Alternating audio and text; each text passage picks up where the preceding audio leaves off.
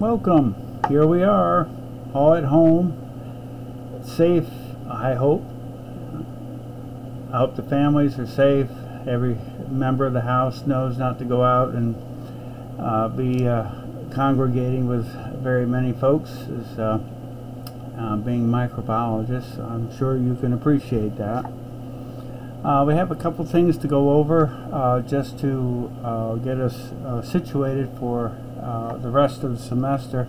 I just want to assure you that I'm here to, to help you through this we, we will get through it. You're going to do well. Hopefully we can have fun along the way. It will be different. Uh, we won't have the luxury of being together, which I miss, but uh, it's something that we're going to have to do. So uh, we just face it, move on, and um, so anyhow, let's do that. Let's do that here. Uh, so the, the to-do list for uh, us at this first time that we get together in this modality is uh, our to-do list really is going to be a simple one. I want us to get us started. I have a few things to go over. You can follow those. Uh, I assure you, you can always email me and I have some contact information. Uh, you can even call my cell phone if you need to. Uh, but we also have Zoom and a few other things that I'll talk about uh, for, uh, for our office hours if you need that. So the to-do list for chapter 6 is uh, go through this presentation I'm working on uh, with you together right now. And what we have is a worksheet. If you could fill that out using Word and just email it to me. And make sure that you get I received it response so that you know that I got it and uh, I like to do that until I get all the snags worked out. There may be other ways to uh, submit the work, but for right now, uh, this will work for, for our purposes. Now, you always have a week from the first day uh, all week, so you can view this video at your leisure uh, during the week. Uh, I have to break this one up in into two pieces just because of YouTube's YouTube's limitation. But and the other is that uh, it is two classes. I am su supplementing the, the time that we're normally together for 50 minutes. And so I, I try to cover all of the timing so uh, you get your money's worth and uh, still cover the materials that we need. And uh, uh, this will be modified as time goes on or tweaked uh, to everyone's satisfaction, I hope.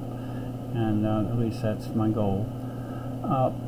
in lessons, all the chapter 6 materials can be found so just click on that. There's nothing really new and just migrate to the chapter 6 and you can see the list of various things. Uh, one of the things that's not listed of course is this presentation because I'm working on it now as we speak. So uh, that will be there uh, for you. I'll also include a video for lab today I'm working on that uh, we really only have uh, two labs to cover uh, the staph lab, which I took pictures of all your plates, and they could be found in the Staphylococcus lab. So uh, your teams uh, get together, I guess, uh, just by uh, finding your table number and uh, your data. And um, one of the uses for Teams is to find teams that is Microsoft Teams and students will have access. You can work together on teams uh, as uh, a lab, a bench, group, and uh, complete the assignments uh, the best you can. Now, I understand Teams is new and the whole uh, format's new, so of course um, I, I, limited uh, the work pretty straightforward with the lab manual and to do the staph and strep and the plates and everything are available all I'm asking for you to do on the strep plates is these are your other section plates and just find a representative for each of the numbers 1 through 4 and see if you can identify each of the unknowns as 1 through 4 and uh, with the information that I provided. That's it for the lab but I want you to get used to working together on teams and uh, then submit uh, the lab report uh, where the labs which I will provide in Word format so you can edit those easy. I'm working on that right now.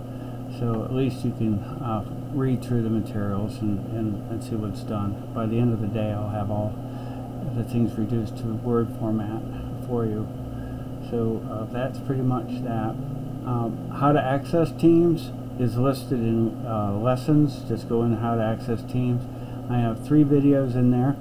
The first one is how to access Teams for students, and that was written uh, by Wake Tech uh, administration, so you can look at that. And then I have two generic ones on how to use it and uh, take advantage of some of the really nice features. They turned on Teams for you with all the access and bells and whistles, so it's free, of course, and they've included it. And how to access it is is right there in the first video, so you can learn to do that and apply that for your labs and uh, breaking up into your teams and uh, for your bench uh, as you have normally. Let's see how that works out and I'll, I'll monitor it. I will be around uh, various times on Teams if there's if there's questions about that uh, or you can just drop me an email and as I say my expectations right now let's let's get uh, so that we get familiar with some of the tools and and we'll get through this uh, the tools are, I'm trying not to be over overly too much technical.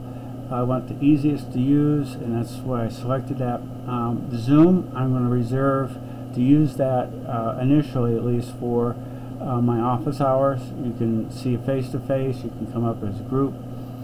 Uh, seeing how the network, uh, what I'm worried about is my bandwidth at my home.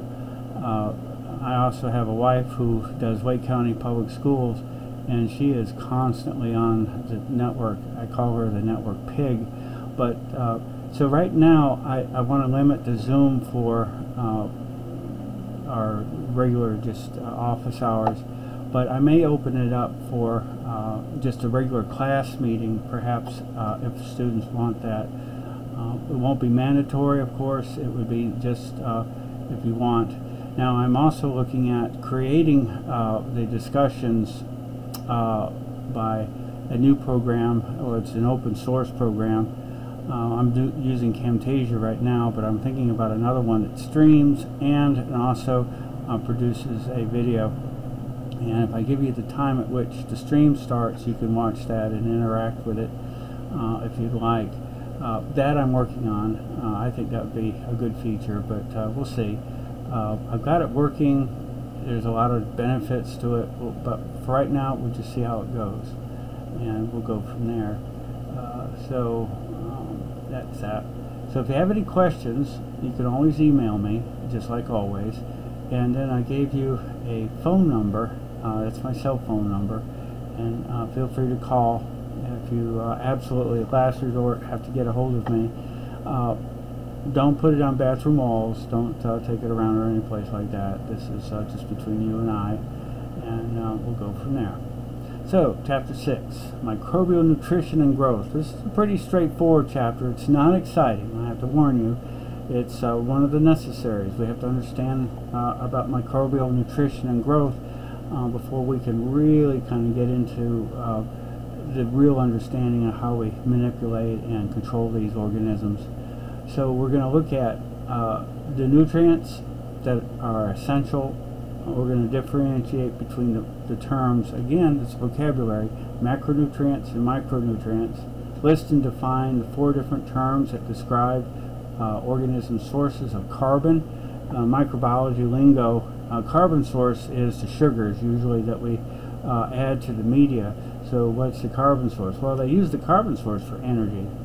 We're going to talk about saprobes and parasites, and again, uh, these are terminology type things. We're going to talk about stuff you should already know about, but I'll go over it again. Diffusion and osmosis. We'll go, uh, talk about isotonic, hypotonic, and hypertonic type solutions and how that affects the cells. And of course, that addresses the salt uh, concentration uh, or the exposure to salt in the environment and how microorganisms try to deal with that. Uh, two types of passive and uh, active type of transports. Again, this should be stuff that you're already familiar with. So this is a pretty straightforward chapter. it's a good one to get started into this new uh, sort of uh, format that we're working on. And you uh, try to keep everything consistent the way uh, this is uh, kind of rolling out. And I would love to get your feedback. Let me know if this works for you. Uh, ultimately, it's uh, for, for you. So, uh, so the microbial nutrition essential nutrients, any substance that must be provided to an organism to grow it. I mean, these are the things they have to have in order to do the business. And some of it they can manufacture on their own, but uh, there are things that they absolutely have to have. Macronutrients are required in relatively large quantities, uh, like water and that sort of thing, and plays uh, principal roles in cell structure and metabolism. So these include carbon, hydrogen, and oxygen the micronutrients are smaller amounts, can be also uh, looked at as trace. These could be manganese, zinc, iron, uh, nickel, various smaller functions, but absolutely required. If you don't include that, they're not going to grow. Inorganic nutrients are simple uh, mo molecules that contain a combination of atoms other than carbon and hydrogen. So that, those are your inorganic found on the Earth's crust, bodies of water, various things. Usually we're talking about metals and, and their salts. Magnesium sulfate, uh, ferric nitrate, these, these are salts of these sorts of compounds, sodium phosphate, or gases like oxygen, carbon dioxide, those sorts of things that easily uh, go through membranes. Organic nutrients contain carbon, hydrogen atoms that are usually the products of living things simple organic molecules such as methane, or if you're from the UK, methane, uh, large polymers, carbohydrates, lipids, uh, proteins, nucleic acids, that's the sort of thing that we uh, you should already know about the large polymers. Of course, water is an essential component, 70% of all components. The proteins, organic compounds make up about 97% of the dry weight. Carbon, hydrogen, oxygen, uh, nitrogen, phosphate and sulfur is uh, CHOMPS is the elements is a uh, acronym to remember that. Most chemical elements are available to the cell as compounds and not as pure elements. The, the salts, the uh, sodium versions of various things and that sort of thing. Uh, only a few types of nutrients needed to synthesize over 5,000 different compounds, which is amazing. These are lean, mean fighting machines and they know how to do it. Okay, some more vocabulary. This is talking about what bacteria eat. These are heterotrophs, organic. Uh, it's an orga organism that must contain uh, its carbon in an organic form. So heterotroph has to go out, so it's different. Uh, troph means it has a predilection or a needing for. Uh, hetero is different, so it's different from itself or outside of itself. Autotroph's an organism that uses inorganic uh, CO2 as its carbon source. And they usually refer to that as carbon fixation or CO2 fixation, and they can actually pull it right out of the air. Has a capacity to convert CO2 into organic compounds. This is a really important thing. Now, we already are aware of those sorts of things as in uh, photosynthesis. Plants can pull CO2 right out of the air, incorporate that carbon into the plant, and bacteria uh, can do the same. Um, not nutritionally dependent on other living things, which an autotroph, that's a really nice feature uh, to have. A phototroph is a microbe that actually photosynthesis or photosynthesizes. Uh, photosynthesis is a really cool process, and um, photosynthesis is uh, something that bacteria do. Uh, chemotrophs are microbes that get its energy from chemical compounds. Okay, so there's some charts that summarize uh, all of these things. And you can see autotrophs uh, just uh, with more detail. We have the chemo autotroph or chemo organic autotrophs. They use organic materials. And uh, we have chemo autotrophs or inorganic compounds. Chemolitho autotrophs are minerals. If you think of lith as like a stone or a rock. Um, so uh, that kind of indicate minerals, if you want to use that to remember. Uh, they re refer to these organisms as rock eating, so they're the lithotroph and rock uh, kind of works.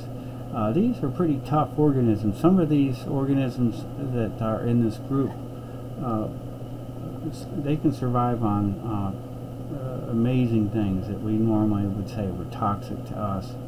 Photoheterotrophs, sunlight, of course, uh, purple and green photosynthetic bacteria.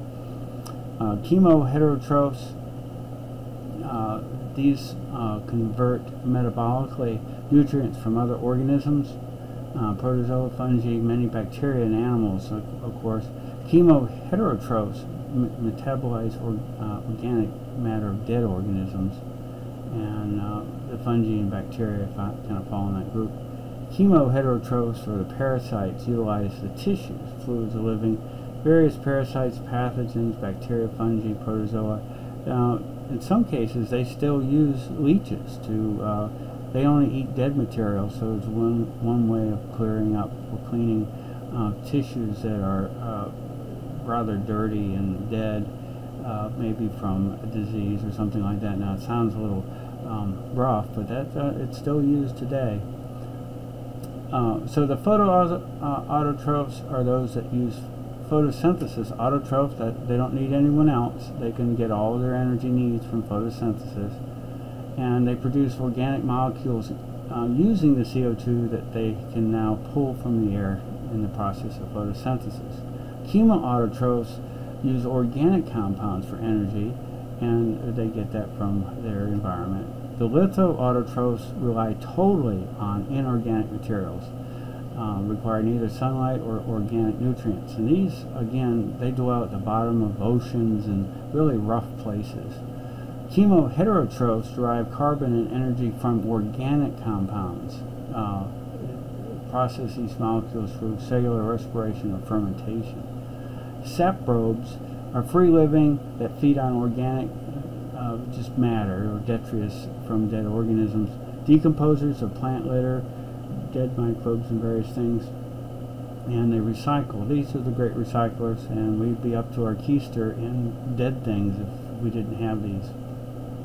Parasites derive nutrients from the cell or tissues of a living host. Pathogens cause damage, which this is really kind of what we're talking about in this course uh, as far as business goes.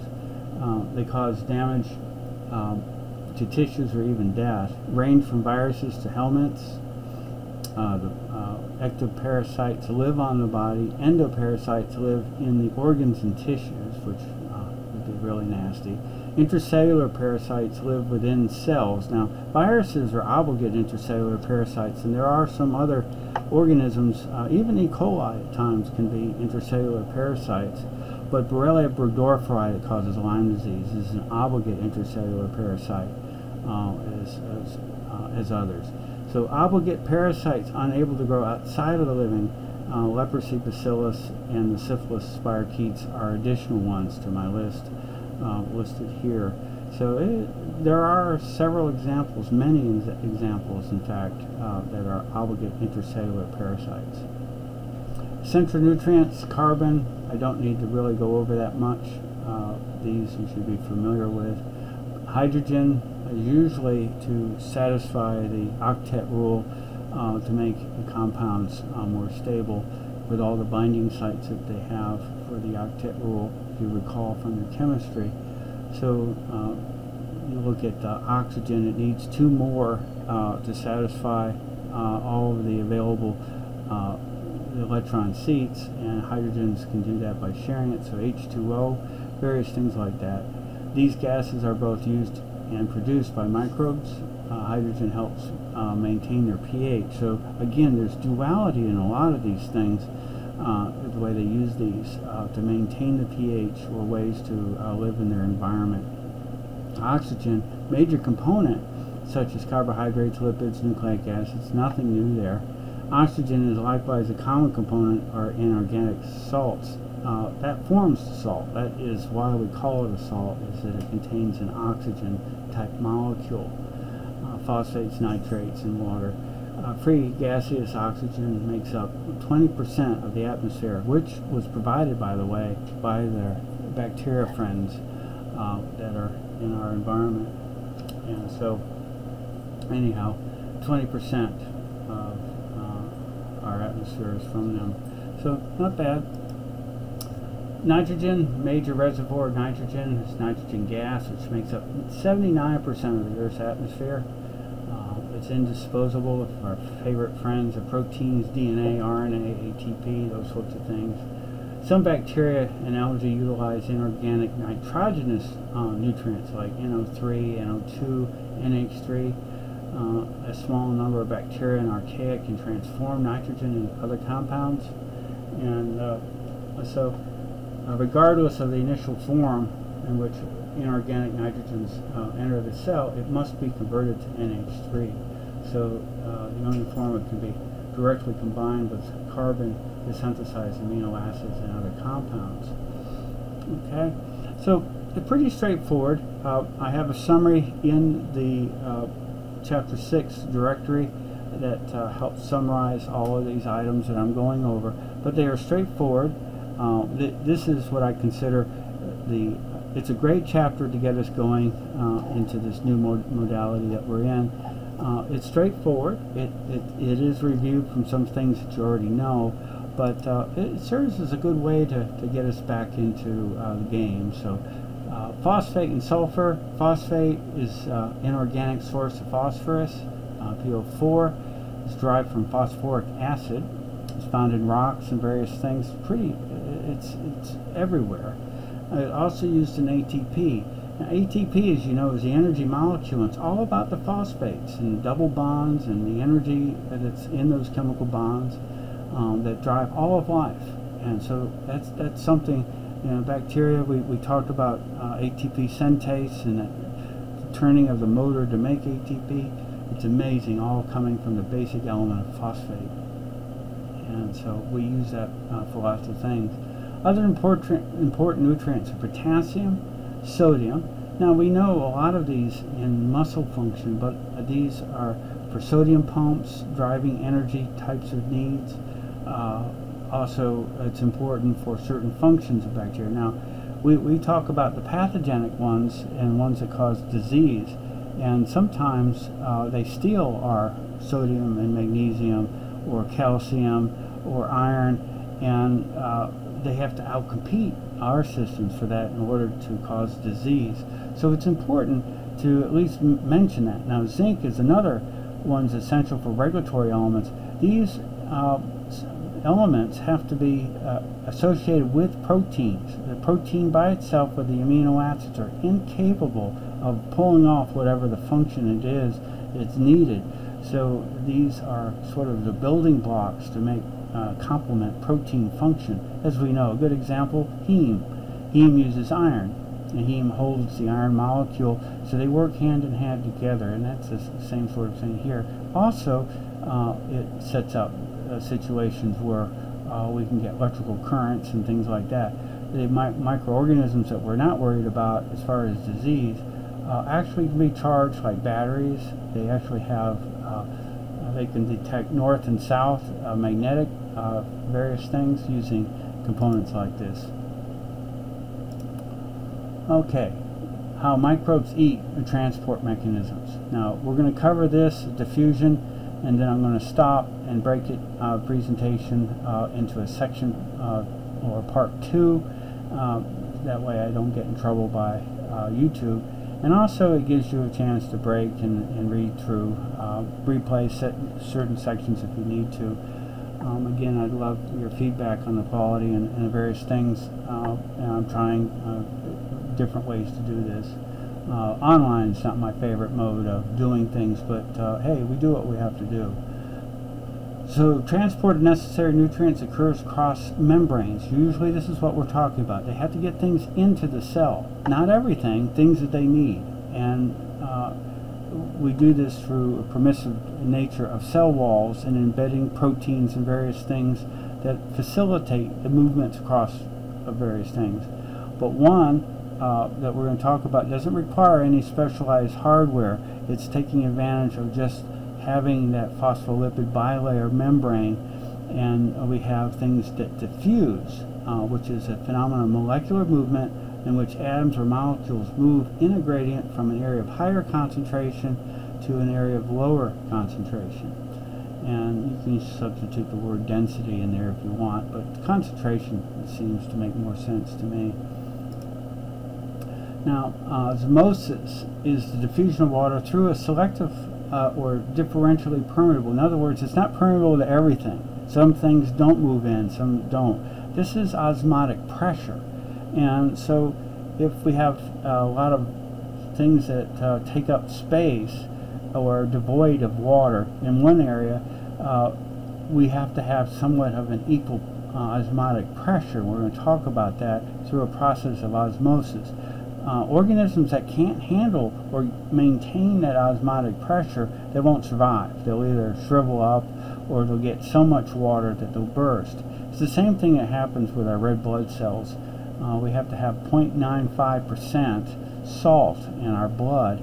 If that differs in one way, or let's say you just were to inject someone with pure water, that would be deleterious because uh, the red blood cells, of course, maintain a certain concentration of water and you have pure water on the outside, then you're going to get a net movement um, trying to make the two equal. Uh, so some of the salts will leave, or the, the uh, materials in the uh, bacteria will leave and it'll shrivel up. And we'll talk more about that. So uh, this will continue until the concentrations are equalized on both sides, and that's the key to osmosis. The osmotic pressure, by the way, is driven by gravity. And so here is a uh, container looking through a selectable membrane, membrane sac. You have solute and water. Solute takes up space or displaces water.